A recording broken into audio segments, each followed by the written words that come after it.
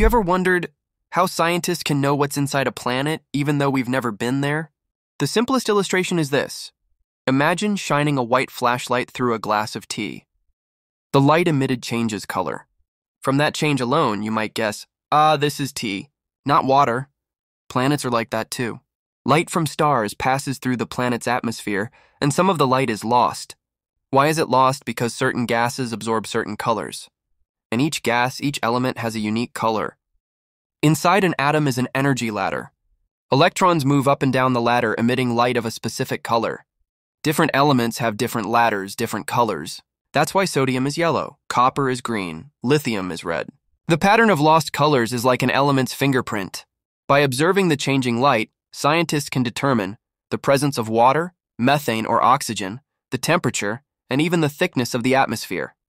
So, we can read the contents of a planet without ever setting foot there.